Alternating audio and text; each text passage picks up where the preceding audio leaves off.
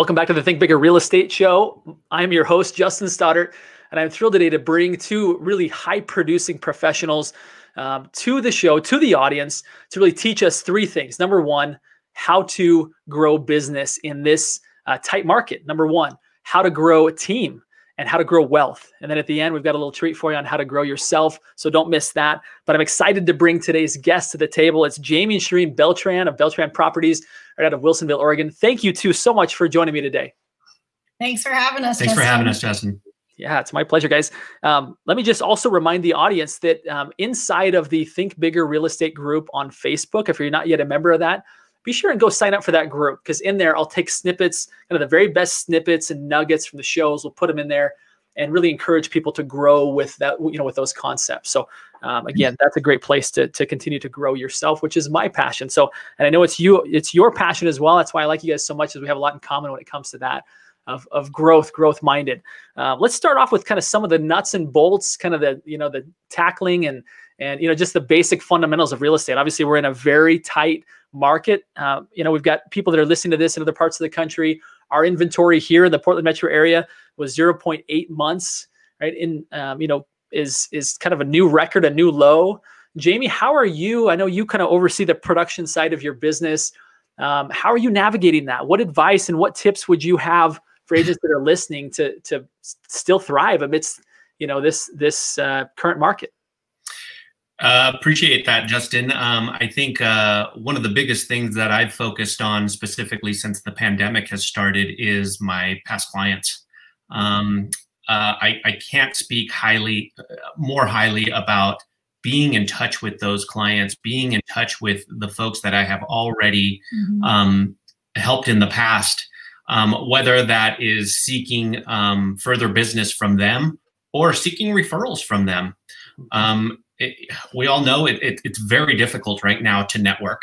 it's it's much more challenging to go out and prospect um, than it was in the previous years. Even when it comes to the good old fashioned open houses, you know that is something that's not happening quite as much just because of potentially the seller's concerns or just um, mandates from the state, right? Yeah. So um, for me, it has been a real focus on um, my past clients. And, you know, I'm pretty proud that last year we had over 80% um, past client referral business. That's impressive, guys. It says a lot about the service that you you offer. It's funny. I was asked, uh, Jamie, you've attended top agent masterminds that I've done in the past. I was actually in one yesterday, and um, the question came up like, I've got a database. This was an agent, very successful agent. He said, I've got a um, you know a database of 21,000 people, and I'd love tips and ideas on how to stay in contact with them we're all like 21,000 people. Holy cow. And uh, kind of, we all came to the conclusion that, that um, it's really hard to keep track of that many people without being very vanilla, right? Being very mm-hmm. drip campaignish. And, um, you know, the advice that, that he said was the most valuable to him was kind of the analogy of pruning a tree is that the tree actually gets stronger when you prune it, right? It doesn't get weaker. And I think um, your emphasis on past clients says a lot about that strategy, right? Of like, we're not trying to serve everybody in, you know, this town of 25,000 people even it's who are the people who have already chosen us once and that are likely like they've already experienced who you are. They've already said yes to you. It's now how do they say yes to you again and or help their friends say yes to you as well. Yeah, in fact, um, one of the things that we implemented a few years ago, we just call it Jamie's top 40 list. And those top 40 clients are the people that he stays in touch with on a regular. Um, it's phone calls, it's FaceTime, it's voice to voice, it's you know drop ins, um, it's everything. But we really, really hyper focus that, and then the database itself is you know kind of some of the more traditional like email marketing campaigns and you know even texts and calls too. But definitely, we really try to focus in. Top forty. That's I mean, you guys produce at a really high level. I don't know if you feel comfortable sharing kind of either close units or GCI or I know it's sure it's big, right? I mean, so yeah. yeah. Okay, let's talk last year. What did you guys do last year? How many deals did you guys close last year? Last year we closed, I, I believe it was 87. Okay.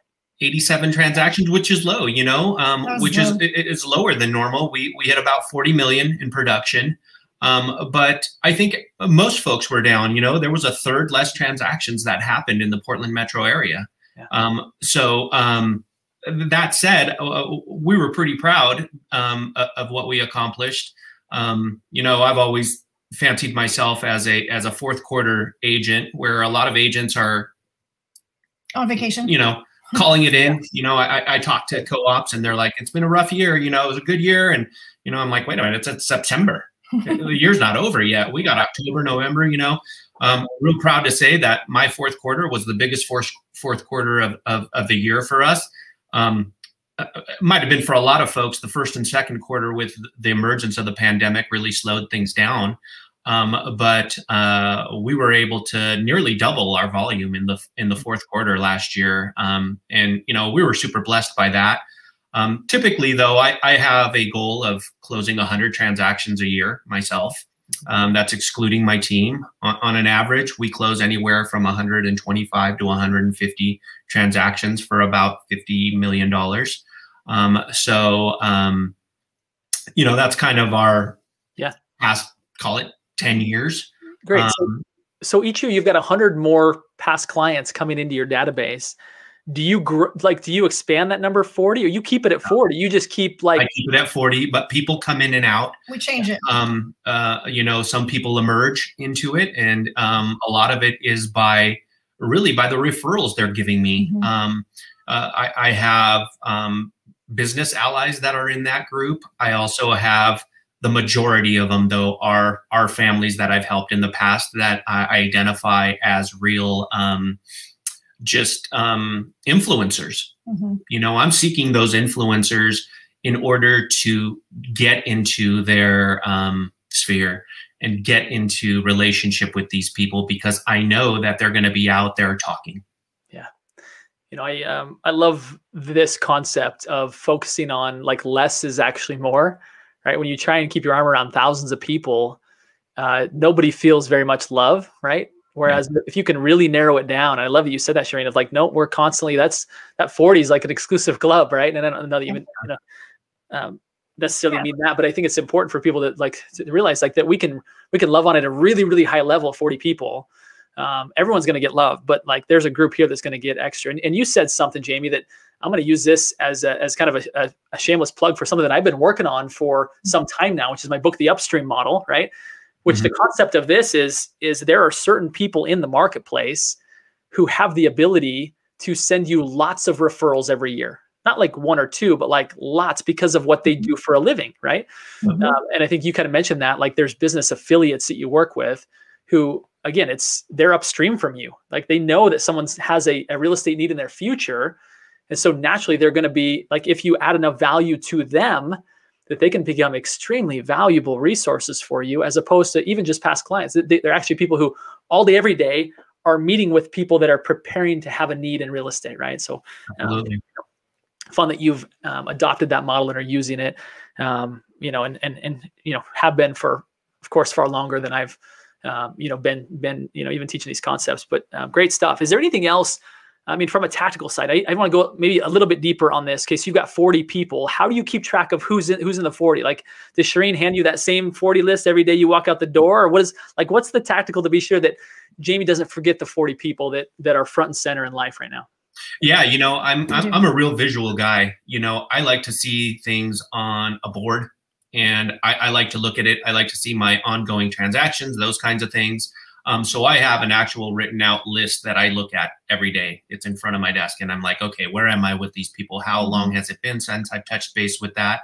Um, recently, too, um, our production manager, our operations manager, Mike uh, Rorig, has printed it out for me and kind of set something up where I'm like, okay, I'm checking it off that I actually touched base with these folks because you know, when you're producing this much, also it sometimes you forget to continue to prospect. Yeah. You know, mm-hmm. it, when I fill up my pipeline to, you know, 15, 20 transactions, then I'm like, okay, I get really focused on closing those transactions.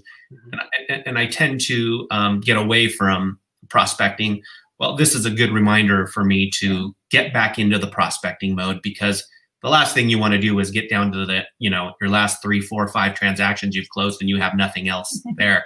That's something i learned the hard way in the past but this this helps us a ton to get past that Yeah, and what we realized too is because Jamie's so visual, like we've tried digital, you know, we've tried different formats, but he's just a he's just a paper guy. Like it's just easier and you literally check it off the box. And you know, we have a weekly, you know, managers meeting uh, in our team and we'll go through that list and we'll be like who's on the list, who's still on the list, who's off the list, who needs to be added. Um, we have a lot of little systems in place too. Like whenever we get a review, we send somebody a gift um, whenever we get a referral, we send them a gift. And even if the referral doesn't come to fruition, or even if you know the transaction never closes, doesn't matter. We reward the behavior. So yeah. that's the kind of stuff that we focus on. And um, not just for that top 40, you know, there, there's a kind of like that's the core group, but then, you know, there's like a secondary group. Um, and that secondary group gets invited to our annual client appreciation event. And I think this year was our ninth or 10th. Honestly, I kind of lose track. Yeah. But um, it, we're, you know, we're big like relationship people. This is how we actually do business. And, you know, when you're in and out of somebody's home, like you're part of their family too. So we treat them like family and we get together. So this year was really challenging because clearly nobody's partying. you know, we're not having big events, we're not getting together. So, um, but you know, people are starved even more for um, that interaction, Absolutely. you know, and that FaceTime together. So, we did a virtual event, and it, it, was a little bit last minute, and I had no idea if it was going to be very successful. We had, you know, we just really didn't know. But one of our clients is an amazing baker, and she hooked me up with another local um, small business owner, and I love to support small business and especially if they're in our community. And they did these like gorgeous like charcuterie boards.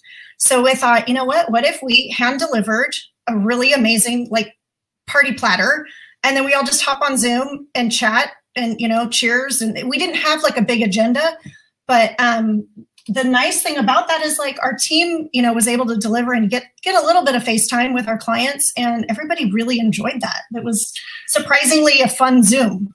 It was really interesting too who um, who participated in the Zoom um, and um, the response we got back from it um, from clients that maybe we hadn't interacted with as much, but they were just seeking that. Mm-hmm. Um, gosh, this that community, and it was really powerful.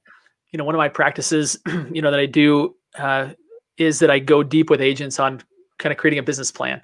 And it's been interesting how many of them to me said, "Well, I can't do client events anymore," and they just cross it off as if like mm-hmm. it's it's an impossibility. And I'm like, wait a minute here, and I'll share mm-hmm. examples like you guys just shared that like it doesn't mean you need to jeopardize people's safety and health to put on a client event. You can be very creative, uh, you know, about the mm-hmm. way you go and do it.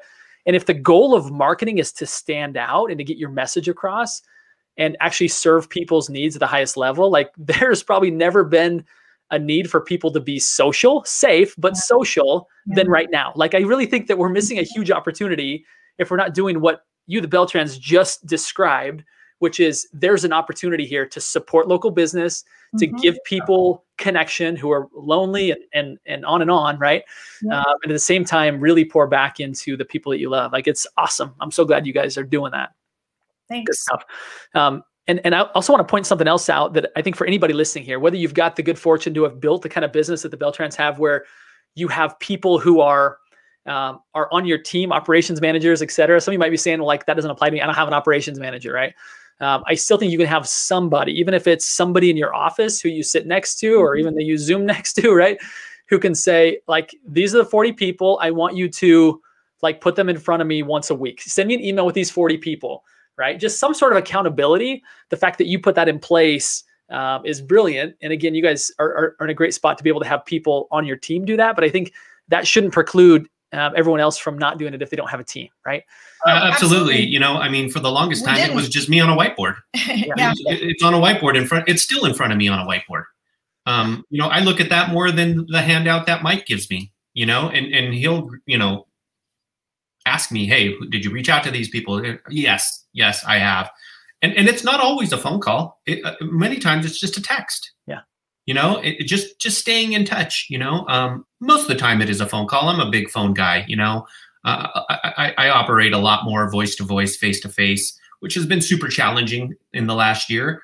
But um, nevertheless, it's my strength, so that's where I go. Yeah. yeah.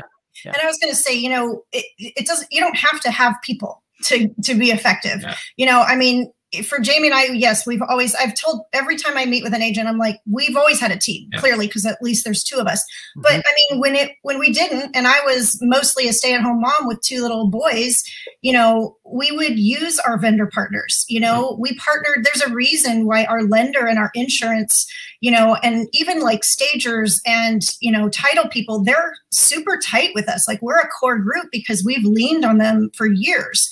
Um, and they feed us and we feed them and we collaborate together. Um, you know, one of the other things that I love to do is, you know, mastermind with other agents. And I've always connected with other team leaders and been like, okay, what are you guys doing? You know, what are you seeing that's working out there? Tell me what's happening. Um, you know, and I met with um, another team out of Sherwood just a couple weeks ago, asking them like, what do you do for pop-bys? I know you guys are big in the community. I know you're doing it well. Um, you know, so we just swap stories and we share ideas and, you know, people are willing to share if you just ask. Mm-hmm. And, you know, that's what I think about, you know, if you don't have a team yet, like you do have a team. They just are maybe not officially under your umbrella of your company name. Yeah, no, it's, it's a great paradigm shift that it really starts to eliminate the excuses that we all give ourselves, right? Um, of I don't have that, so I can't do that. No, the reality is you can get a little bit creative mm-hmm. and figure out, find like follow success. Success leaves clues so what is it that, for example, the Beltrans are doing and how do I replicate that even if I don't have the same situation as them? So again, I'm thinking everybody here can, can take some of what you're saying and apply it. Um, outside of that, guys, is there any other advice or input you'd have with regards to this this current market where it's really heavy listings, low buyers, maybe it's even around um, getting offers accepted. Like obviously you guys are heavy on the listing side, right? Um, you're um, fortunate to be to, to have built a business um, around that. You focused on that um, when you're accepting offers, like what are you looking for? Because I'm sure there's people out there that are listening right now that are like, man, I'm on the other side. I'd love to have inventory. I'd love to have listings, but I've got buyers, and I'll uh, and I'm oftentimes one of ten. yeah. Um, what advice would you give to somebody who's submitting an offer on one of your properties on what really speaks to you? Uh, you know, I, that's a great question, uh, Justin. And I preach this to our team all the time. It, it, it, good communication with the co-op agent. If if you're a buyer's agent you need to be communicating with the listing agent constantly. Mm-hmm. They need to know that you are going to be somebody that can be reached, that's going to be um, uh, searching for common solutions, mm-hmm. um, and then also many times I'm I'll tell my client my my agents um, or our agents to ask the ask the listing agent what they want. What is it that they want, mm-hmm. and listen, listen to it and apply it remove your ego of how you're going to do it and how you're going to shine and what you do is mm-hmm. listen to the listing agent and and actually apply what he says to your offer. Even if it means a last minute change you know this this this seller needs a rent back for 30 days. Okay great. Here it is at the end. All right. We mm-hmm. didn't uh, initially submit it because i didn't talk to you but now that you've told me here it is. And here's one better. I'm giving it to you for free Mm-hmm. You know, these kinds of things are what make the difference. When I receive, you know, three to 10 offers on every listing that I get on, because that's just the market right now, yeah. you know, I'm getting the vibe from the agent that's bringing in the offer. And when the seller comes to me and says, What do you think, Jamie? All of these offers are so great. What do you think? You know, I'm going to go back and say, Well, you know, this particular agent has been Johnny on the spot. Hmm. If, if, if, by no other reason, let's go with this person. Yeah. I, I think that is probably yeah. the most critical piece of advice I could give anybody right now. Yeah, that's great insight. I think everybody can learn a ton from that because sometimes people think it's it's always about how much, right? How much the offer is, and it sounds like, yeah, if your offer falls through, it doesn't matter how much it is, right? Yeah. And if you're not dependable, get back to people. That's yeah. that's great, great insight. All right, let's move now to the kind of the next segment, which I want to talk about building a team. I think um, everyone out there that's tried to scale a business has realized they can't do it just on their own merits. Mm-hmm. They have to start to attract and retain talent. Uh, what what principles do you, kind of help guide you guys to be you know to be able to attract someone like Mike, right? Who's mm-hmm. um, teaching and training agents himself. Um, to, like, what advice would you have to people that are getting ready to, to to to build a team and or just want to build a bigger or a more solid team? What have you learned over the years? That is a loaded question. Mm. That that can go so many different directions, but I love it because you know one of the first things I talk about when I'm you know interviewing an agent or you know looking at adding to our team is um, first of all do you have what it takes? Do you have grit? Can you make it in this business if you're new? Um, and then are you part of like our same style and ethics? And you know are you coachable? So those are some of like the key things i look for. But really it's about okay we've built a business and you know it's our last name. And so basically it's kind of like this is our baby and are you a good enough babysitter if i hand you my child are you going to take good care of it you know and um, you know, in essence, you're going to be wearing a jersey with Beltran on the la- on your back, and I need to know that you're going to go out and represent our brand in the marketplace, and that you're going to care about your clients just mm-hmm. like we care about our clients, which means, you know, this is your mom, this is your sister, this is your you know cousin and uncle that you're taking care of. Um, so those are those are the the traits that I look for in the people, um, but overarching from that, it, it is always about the people so it's not just about the client as the person, but it's also about the agent as a person, you know? Mm-hmm. And one of the reasons we attract great agents is because we are, you know, exuding that, right? And um, they matter to us. So I like to think that we grow an organic team, but, you know, the way that Mike came to us, for example, was through a client referral. Like he was looking for a team to join. One of our clients was like, Hey, I play basketball with this guy. He's a great agent. You guys should talk to him. And Mike's been in the business longer than us. You know, he's a principal broker. And when we met, he thought he was like, you know, applying for a sales position. But I looked at his, you know, background and I looked at his, you know, his education. I'm like, you have a degree in psychology and you love to train. So why are you applying for sales? You know, like basically I created a job suited to his talents. I took what he's a 10 at and i created a, a role around it. And that's why he's thriving and loving it. And you know it, it adds such a great value to our team and our agents to have somebody like a mike. Mm. um, but again because it, it's about the people right? Not just the client people but also the team the agents. Man i love that. You oftentimes hear people who say yeah find good talent and then and then make a position for that person right? And I, and i it's rare i think to hear someone say where they actually did that and it worked out really well um, not say that it works out poorly, but just few people actually apply that principle. And to hear you actually say that of of like, you know, you didn't have an operations manager, but this guy came in the door and you thought, how do we how do we find a spot for him that's really suited to him? Which again goes back to your whole principle of like, it's always about the people, right? Jamie, you you discussed that when it comes to like these these 40 people. It's about the people, right? How do we actually pour into the people? Not just stay present with drip campaigns, but how do I actually pour into their lives and be present? And with the people on your team, same principle. I'm seeing this kind of underlying thread here of like it's about the people, right? These people um, need to be like first and foremost our our customers, right? Yeah, absolutely. Yeah. You know, um, I'm super fortunate to um, be partnering with Shireen in our business because she does all of this um, groundwork. You know, where she's not only re- um, bringing in the talent that we're potentially going to bring on, and, and, then it finally comes to me, and then to me, it's always a cultural fit, right? Yeah. Are they going to fit our culture? Are they going to fit Shireen and I's culture, right? And and Mike as well, and Ethan. You know, mm-hmm. both those guys have been with us five plus years. Um, and um, if they're not, if if there's a vibe that we don't get, and and and any one of us kind of feel that, mm, you know, maybe this isn't the right place. Maybe EXP is the right place for them, but not necessarily Bel- Beltran Properties. Yeah. Um, so that that's always um, first and foremost, in my opinion, is is yeah. the culture going to fit? Do these people love people? Yeah, that's good. So good, you guys. So many nuggets out of that. Um, let's move to the last kind of segment, which is about um, building wealth. Right. I think it's yeah. common for real estate agents to um, make good money and spend good money. right. Um, yep. You know, f- you know, for whatever reason, and the profitability is is so critical. Um, and I've seen you guys, you know, put an emphasis on on on building wealth Talk to us a little bit about what principles you could teach agents that are listening out there right now that it's like, you know what? Um, I actually want to build something that lasts far beyond these commission checks, like something that's mm-hmm. actually going to at some point allow me to step down and, yeah. and, and, and retire or pursue other interests beyond being in production.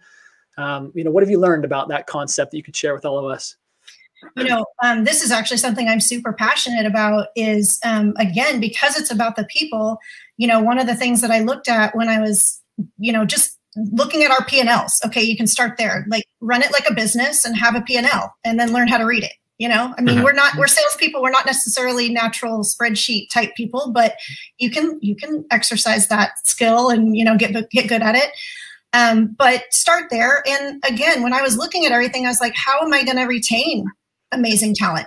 You know, if it, what happens if our business dips and we have a slower year? Am I going to lose, you know, my salaried employees?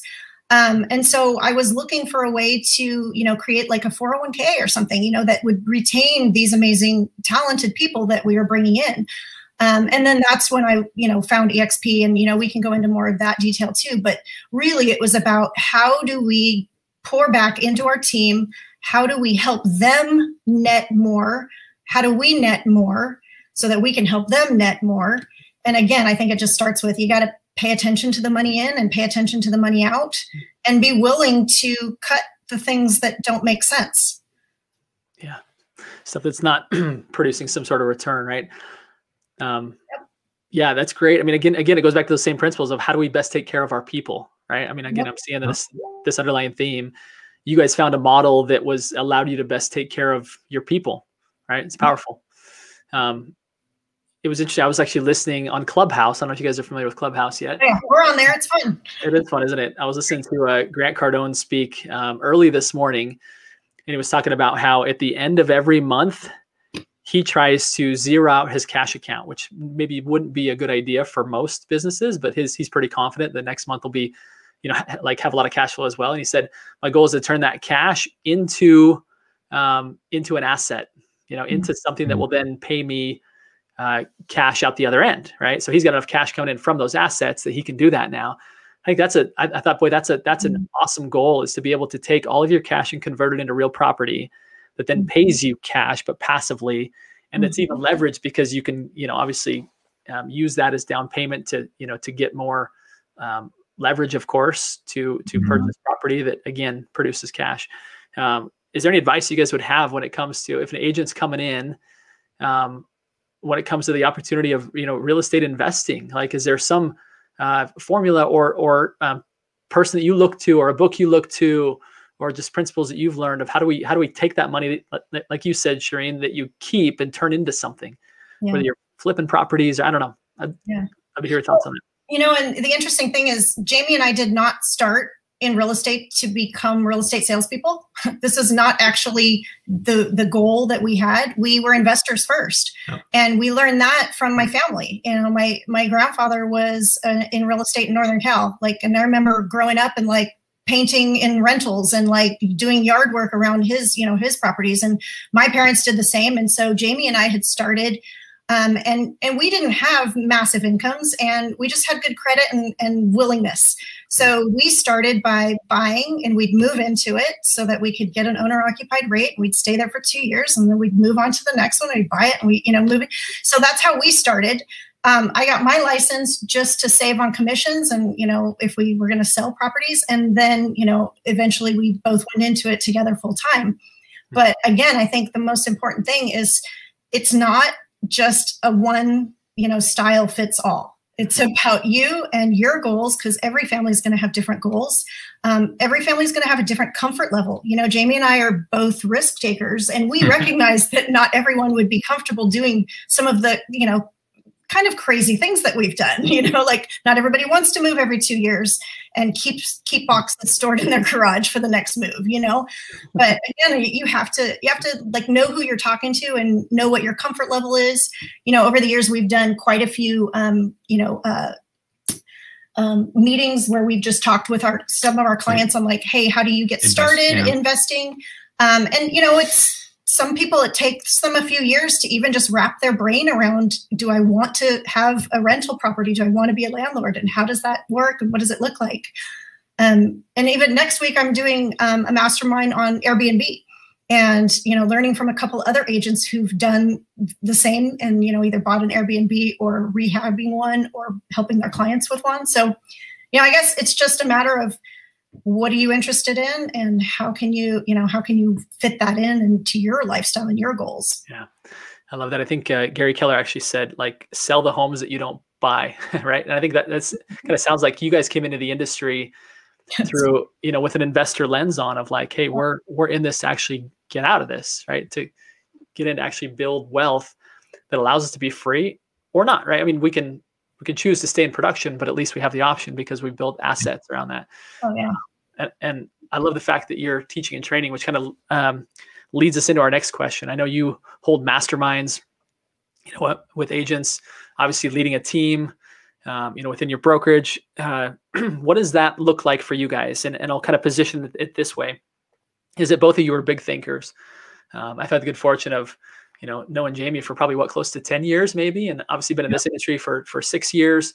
Mm-hmm. And it's been fun to see your growth, both of you. And I think even more recently, I've seen a, a lot of growth. Um, what do you guys do to continue to grow yourselves, to continue to be big thinkers, continue to expand your possibilities? What does that look like? we both look at each other.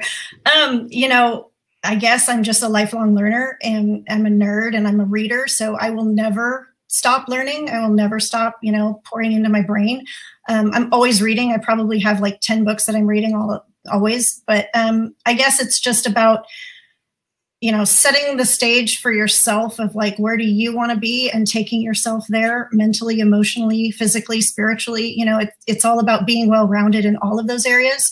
Um, so that if you're taking good care of yourself, you can help take care of your family really well, and then you help take care of your family. Then it, you know you can help take care of your clients, and then you help take care of your clients and your community. Um, we're just big like pour back into yourself so that you can overflow. You know, I know Jamie's tackling some really big community things over the next couple years, and you know, kind of just challenging himself to do more. And I guess that's just who we are, honestly you know um, speaking for myself i i feel like i've always been very ambitious in in any career that i've done but i was fortunate enough to marry shireen that and and, and she is this lifelong learner and really i have just um, followed her followed her um, uh, willingness to grow and, and and and do that and and challenged myself to be like okay i'm interested in this topic. Okay what you know how do I learn? Okay, get a book about it, read dive into it, get into it. You know, um, so so for me, it's it's really been um, that ambition tied to um, what I've been able to learn from Shireen in regards to just growth. It's awesome. Yes, it's just a good partnership, yeah. you know, and just like any team that you're building, you know, you it's about the people, right? So yeah. pick good people. it's a great theme for today. I want to thank you both for everything you've contributed here, everything you've shared, both on um, you know, building business, building team, um, building wealth, and building yourselves. Just tons of nuggets here. I'm excited for that. Um, again, if people are listening to this and they found value, uh, please thank uh, these two. Uh, share this with people who need to hear this, need to hear these components of building a successful business, a, successful life. So, and uh, thank you both. I admire you both. I'm, I'm, I'm, grateful for the friendship and excited to see your continued growth uh, moving forward. So, um, and my uh, final request of everybody listening here today um, are three simple words, and they are go think bigger. Thank you two so much again. Such a pleasure. Thank, Thank you, Justin. You, Justin.